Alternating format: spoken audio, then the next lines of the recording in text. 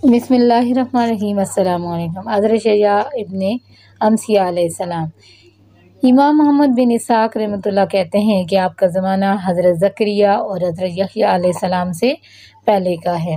आपने हज़रत ईसा और हज़रत मोहम्मद सल्लल्लाहु वसल्लम की बैसियत की खुशखबरी भी दी थी। आपके ज़माने में बैतुलमक़दस के इलाके में हस्किया बनी इसराइल का बादशाह था, वो हज़रत शया सलाम की हदायत पर पूरी तरह अमल करता था। इस वक्त बनी इसराइल के हालात दिगर गोद थे। बादशाह के पाँव में फोड़ा निकल आया, जबकि बाबल का बादशाह सखारेब छः लाख फौज के साथ बैतुलमक़दस की तरफ़ पेशकदमी कर रहा था। लोग बहुत परेशान थे। बादशाह ने हज़रत शया सलाम से पूछा, अल्लाह ताला ने आपकी तरफ़ सखारेब की फ़ौजों के बारे में क्या वही नाजल फरमाई? आपने फरमाया, अभी कोई वही नाजल नहीं हुई। आखिर वही नाजल हुई कि अजकिया बादशाह से कह दीजिए कि किसी को अपना कायम मकायम नाबद कर दे, क्योंकि इसकी मौत का वक्त करीब है। जब आपने बादशाह को अल्लाह का ये पैगाम दिया तो बादशाह के बलाए रुख होकर नमाज़, दुआ और गरियाजारी के में मशगूल हो गया।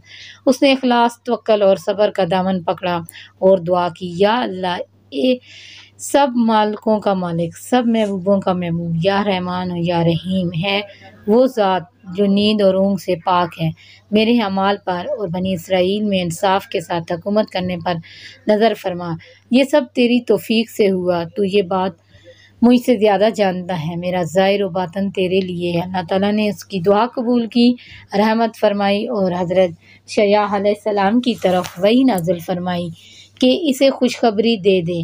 कि अल्लाह ने इसकी गरियाजारी पर रहम फरमाया और उसकी मौत को पंद्रह साल के लिए मौखर फरमा दिया है और इसे इसके दुश्मन सखारेब से निजात दे दी है। जो शया सलाम ने उसे ये खुशखबरी सुनाई, उसकी बीमारी दूर हो गई, तमाम गम और फ़िक्र दूर हो गए। वो अल्लाह के आगे सजदा रेज हो गया, उसने सजदे में ये अल्फाज कहे, या अल्लाह, तू ही जिसे चाहता है हुकूमत दे देता है और जिससे चाहता है छीन लेता है।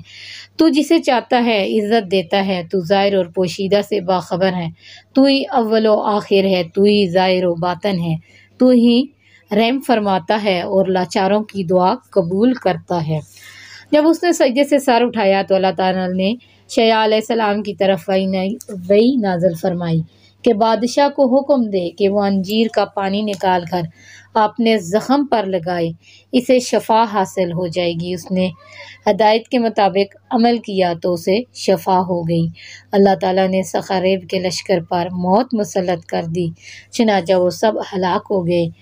सिर्फ़ सखरेब और उसके पाँच साथी बाकी बचे, जिनमें से एक बख्त नुसर था। बनी इसराइल के बादशाह ने सपाही भेज कर उन्हें गिरफ़्तार कर लिया। इनकी गर्दनों में तोक डालकर शहर में घुमाया। इस तरह सत्तर दिन इन्हें जलील किया। इन कैदियों को रोज़ाना जो कि दो दो रोटियाँ दी दी जाती थीं। फिर इन्हें जेल में डाल दिया जाता था। शया सलाम ने वही के मुताबिक बादशाह से कहा कि इन्हें इनके वतन भेज दें, ताकि वो अपनी कौम को जाकर बताएँ कि उन पर क्या गुजरी।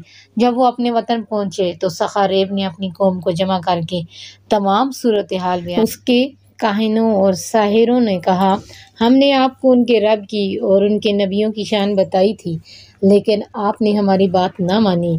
इस उम्मत को अल्लाह की मदद हासिल है।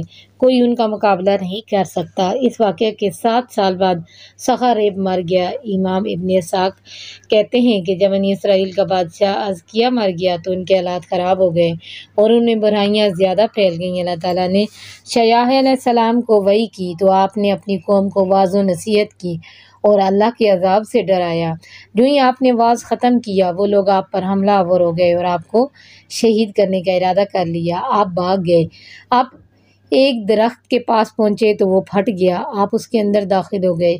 शैतान ने जल्दी से कपड़े का किनारा पकड़ लिया। जब दरख्त के फटे हुए हिस्से ने मिलकर नबी को छपाया तो कपड़े का वो किनारा बाहर रह गया। लोगों ने देखा तो फ़ौरन आरा ले आए और दरख्त को चीर दिया। इसके साथ हज़रत शयाम का जिसम मुबारक भी दो टुकड़े हो गया और आप शहीद हो गए।